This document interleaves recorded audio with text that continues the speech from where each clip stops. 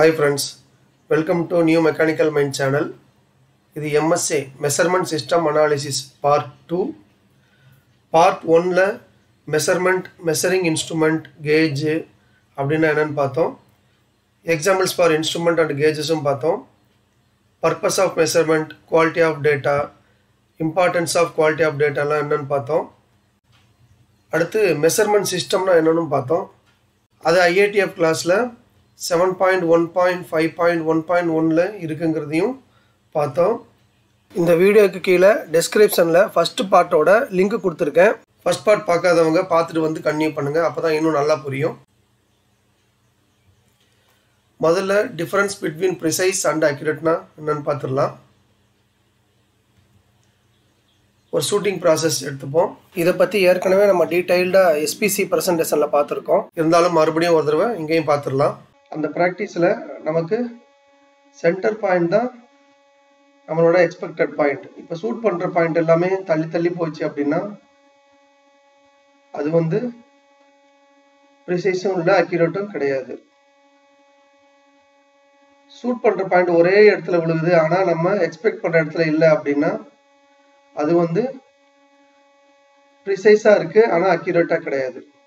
இதுவே நம்ம எக்ஸ்பெக்ட் பண்ணுற பாயிண்ட்டை சுற்றி அந்த பாயிண்ட் எல்லாம் வருது அப்படின்னா அது அக்யூரேட்டாக இருக்குது ஆனால் ப்ரிசைஸாக இல்லை.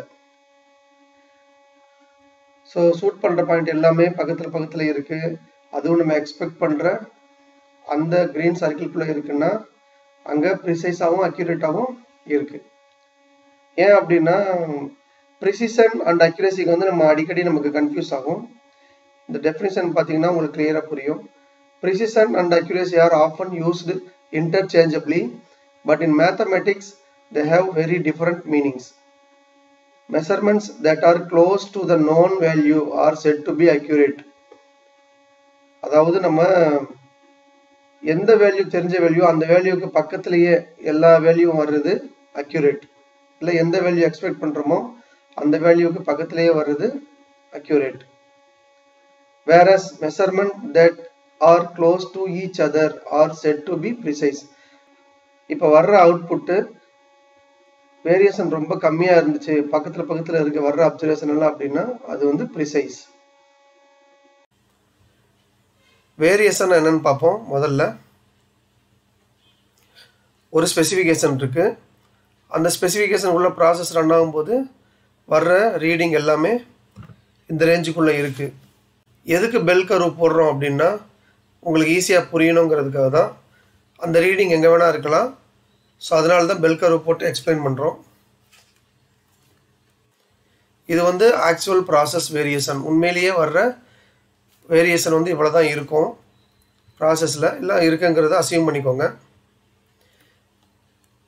இது வந்து gauge variation gauge variation lower சைடும் இருக்கலாம் இல்லை அப்பர் சைடும் இருக்கலாம்.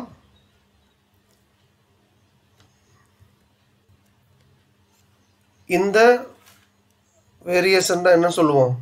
அப்சர்வ்டு ப்ராசஸ் வேரியேஷன் அதாவது ப்ராசஸோட ஆக்சுவல் வேரியேஷனையும் கேஜோட வேரியேஷனையும் ஆட் பண்ணி ஒரு வேரியேஷன் வரும். இதுதான் நம்ம சொல்லுவோம். இதுதான் நம்மளோட அப்சர்வ்டு அதாவது இது நமக்கு தெரியாது. தெரியாது மீன்ஸ் நம்மளால் கரெக்டாக பார்க்க முடியும் ஜீரோ ஜீரோ எரரில் பார்க்க முடியாது. ஸோ இந்த ப்ராசஸ் வேரியேஷனை தான் நம்ம என்ன சொல்லுவோம்? அப்சர்வ் ப்ராசஸ் வேரியேஷன் இதை தான் நம்ம ரீடிங்காக சொல்லுவோம். ஆனால் உண்மையான ப்ராசஸ் வேரியேஷன் கம்மியாக தான் இருக்கும். அது கூட நம்ம manual error production gauge variation எல்லாத்தையும் ஆட் பண்ணி இந்த வேரியேஷன் இதுதான் ரீடிங் அப்படிங்கிறத இந்த வேல்யூக்குள்ளே நம்ம ஒரு ரீடிங்காக சொல்லுவோம். இதுதான் வேரியேஷன் இதை பற்றி இன்னும் டீட்டெயிலாக பார்க்கலாம். எக்ஸாம்பிளுக்கு இது ஒரு true or standard or master value எக்ஸாம்பிளுக்கு டென் பாயிண்ட் ஜீரோ ஒன் அப்படின்னு எடுத்துக்கலாம்.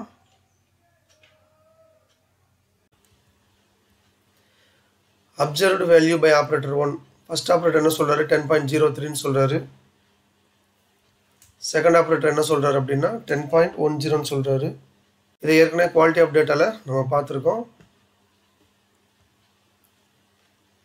The difference between observed value by the measurement system to the true standard master values is called variation நம்ம அப்சர்வ் பண்ணுற வேல்யூஸுக்கும் மாஸ்டர் வேல்யூக்கும் உள்ள டிஃபரன்ஸ் தான் variation variation may occur piece to piece also ஒரு ப்ராசஸில் பார்ட் ப்ரொடியூஸ் பண்ணும்போது ஒரு பார்ட்டுக்கும் இன்னொரு பார்ட்டுக்கும் உள்ள டிஃப்ரென்ஸையும் சொல்லலாம். ஏன்னா ஒரு பாட்டும் இன்னொரு பாட்டும் ஒரே ரீடிங் ஒரே வேல்யூவில் ப்ரொடியூஸ் ஆகாது. ஏன்னா மெஷின் வேரியேஷன் அதில் இன்க்ளூட் ஆகிடும் அதனால் அங்கேயும் வேரியேஷன் வரும்.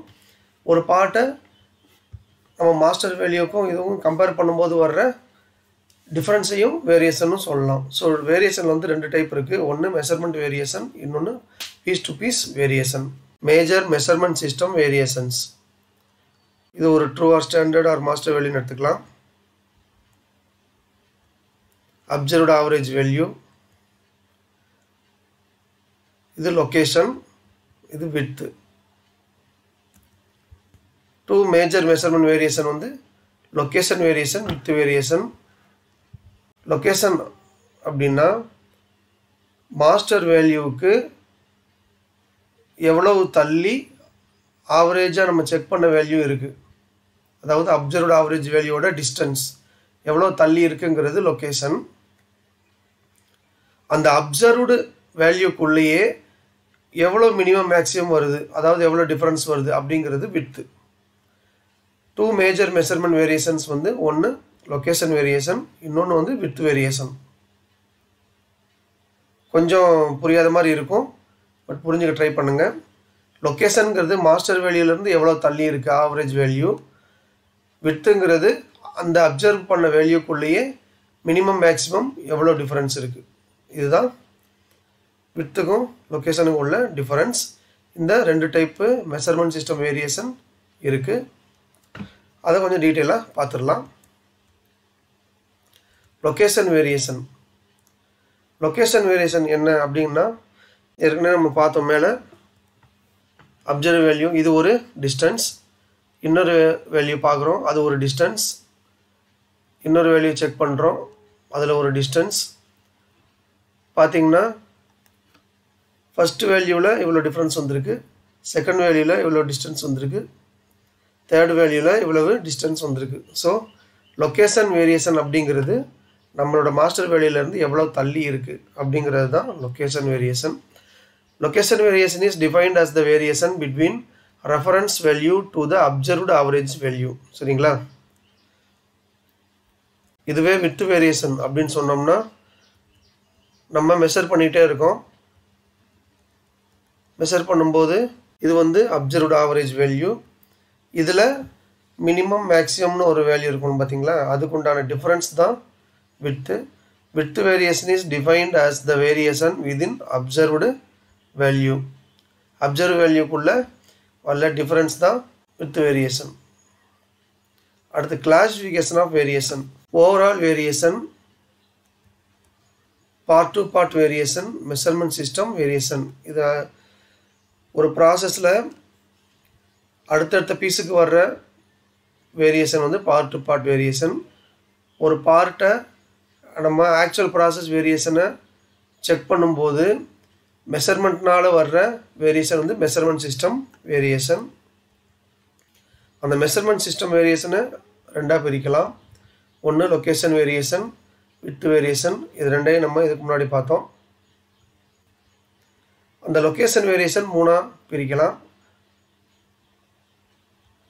பயாஸ் ஸ்டெபிலிட்டி லீனியாரிட்டி வித்து வேரியேஷனை ரெண்டாக பிரிக்கலாம். ரிப்பீட்டபிலிட்டி ரீப்ரொடியூசபிலிட்டி இந்த ஒவ்வொன்று வேரியேஷனையும் நம்ம டீட்டெயிலாக பார்க்க போகிறோம் பயாஸ் ஒரு ரெஃபரன்ஸ் வேல்யூ இருக்குது இது அப்சர்வ்டு ஆவரேஜ் வேல்யூ இருக்குது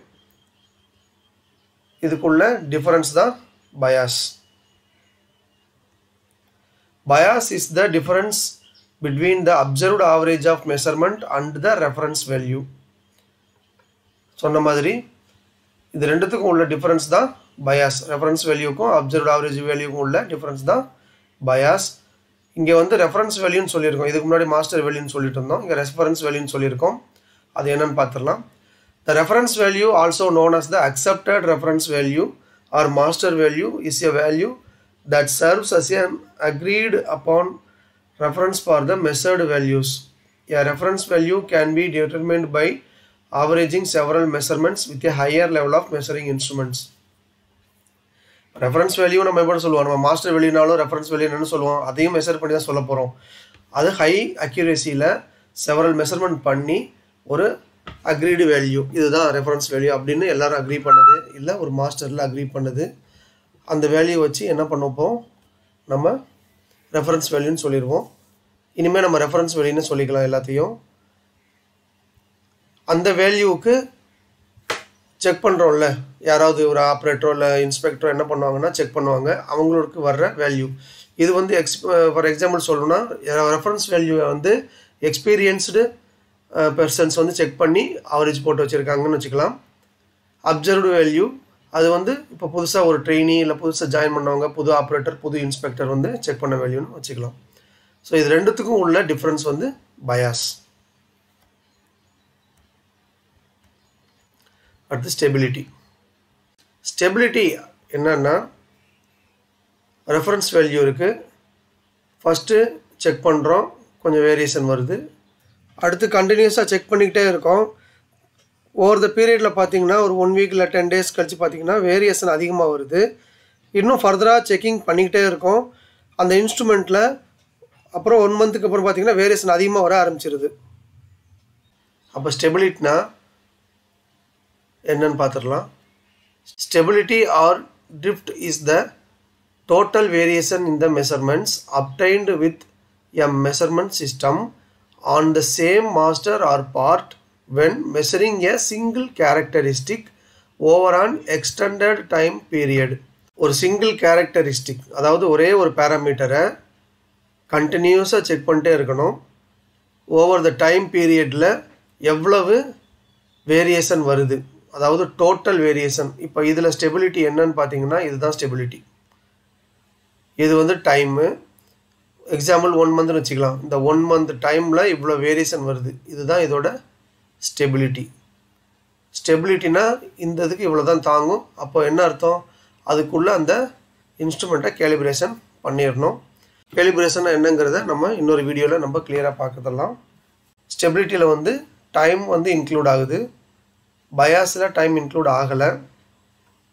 இது ரெண்டு தான் இதுக்குண்டா வித்தியாசம். மூணாவது linearity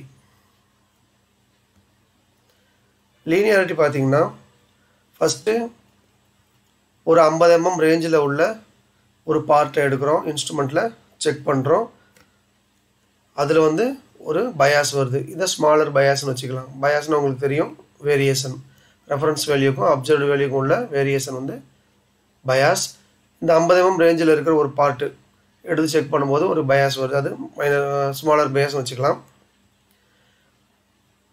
second two hundred MM ரேஞ்சில் இருக்கிற ஒரு பாட்டை எடுத்து அதே இன்ஸ்ட்ருமெண்ட் வச்சு செக் பண்ணுறோம் அதில் கொஞ்சம் பயாஸ் வந்து அதிகமாக வருது. லார்ஜர் பயாஸ் இப்போ லீனியாரிட்டினா linearity is the difference in the bias values through the expected operating range of the gauge நமக்கு ஒரு கேஜோ இல்லை ஒரு இன்ஸ்ட்ருமெண்ட்டோ இந்த ரேஞ்சுக்குள்ளே ஆப்ரேட் ஆகணும். அப்படின்னு சொல்லி நம்ம டிஸ்க டிஸ்கிரைப் பண்ணுறோம் அந்த ரேஞ்சுக்குள்ளே எவ்வளோ வேரியேஷன் வருது? இப்போ அந்த இன்ஸ்ட்ருமெண்ட் எடுத்து ஐம்பது mm எம்எம் செக் பண்ணும்போது கம்மியாக வருது. இரநூறு எம்எம் mm செக் பண்ணும்போது அதிகமாக வருது அப்படின்னா இன்னும் பெட்டர் எக்யூப்மெண்ட்டை எடுக்கணும். இல்லை அந்த இன்ஸ்ட்ருமெண்ட்டை கேலிப்ரேட் பண்ணி யூஸ் பண்ணணும். அதுதான் லீனியாரிட்டி இல்லைன்னா நம்ம ஐம்பது mm எம்எம் செக் பண்ணும்போது ஒரு ரீடிங் வரும். பயாஸ் கம்மியாக வரும். இரநூறு எம்எம் ரீடிங் செக் பண்ணும்போது பயாஸ் அதிகமாக வரும். அப்போ அந்த இன்ஸ்ட்ருமெண்ட் வந்து கன்சிஸ்டண்ட்டியாக இல்லை இல்லை ஒரு ஒரு ரேஞ்சுக்கும் இன்னொரு ரேஞ்சுக்கும் நிறைய டிஃப்ரென்ஸ் காட்டுது. அந்த இன்ஸ்ட்ருமெண்ட்டை யூஸ் பண்ணக்கூடாது. இப்போ வித்து வேரியேஷன் ரிப்பீட்டபிலிட்டி ரிப்பீட்டபிலிட்டி அப்படின்னா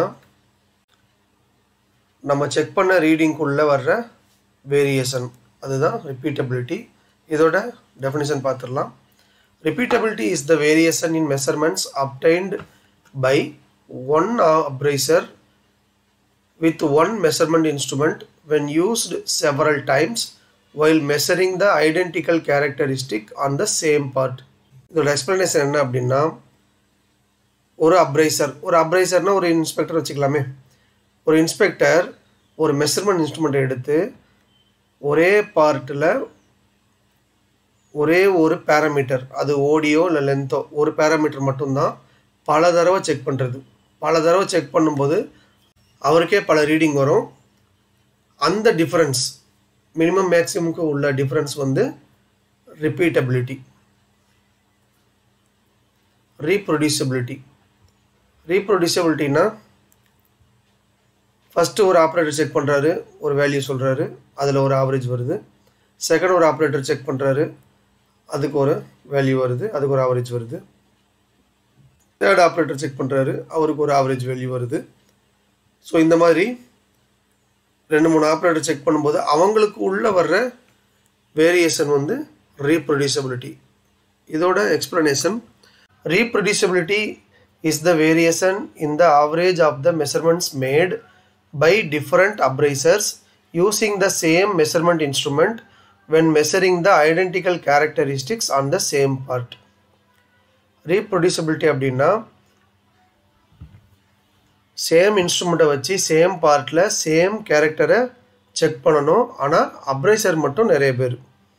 ரெண்டு பேரோ மூணு பேரோ எத்தனை பேரோ செக் பண்ணிவிட்டு அவங்களுக்கு உள்ளே வர்ற டிஃப்ரென்ஸ் தான் ரீப்ரொடியூசபிலிட்டி ஓகே ஃப்ரெண்ட்ஸ் இன்றைக்கி நம்ம வேரியேஷன்னா என்ன? வேரியேஷன் டைப்ஸு அதில் மெஷர்மெண்ட் வேரியேஷன் மெஷர்மெண்ட் வேரியேஷனில் லொக்கேஷன் வித் வேரியேஷன் அந்த லொக்கேஷன் வேரியேஷனில் பயாஸ் ஸ்டெபிலிட்டி லீனியாரிட்டி வித் வேரியேஷனில் ரிப்பீட்டபிலிட்டி அண்ட் ரீப்ரொடியூசபிலிட்டி எல்லாத்தையும் நல்லா பார்த்துருக்கோம். அடுத்து வர்ற வீடியோவில் என்னென்ன ப்ராசஸில் செக் பண்ணுறாங்க ஃபார்மேட்ஸ் டிபிக்கல் ஃபார்மேட்ஸ் அதையெல்லாம் நம்ம டீட்டெயிலாக பார்க்கலாம். இது வரைக்கும் நம்ம சேனலில் சப்ஸ்கிரைப் பண்ணாதவங்க சப்ஸ்கிரைப் பண்ணுங்கள் இன்னும் நிறைய வீடியோஸ் அப்லோட் பண்ண போகிறோம் வீடியோ வந்து உங்களுக்கு நல்லா ஹெல்ப்ஃபுல்லாக இருக்கணும் யூஸ்ஃபுல்லாக இருக்கணும் ஈஸியாக புரியணுங்கிறதுக்காக நல்லா ஸ்டடி பண்ணி தான் போட்டுட்ருக்கோம். உங்களுக்கு ஏதாவது கமெண்ட்ஸ் இருக்குது டவுட்ஸ் இருக்குன்னா கமெண்ட் செக்ஷனில் போடுங்க. இந்த வீடியோ பிடிச்சிருந்ததுன்னா லைக் பண்ணுங்கள் உங்கள் ஃப்ரெண்ட்ஸ் எல்லாத்துக்கும் ஷேர் பண்ணுங்கள் அடுத்த வீடியோவில் மீட் பண்ணலாம். தேங்க்யூ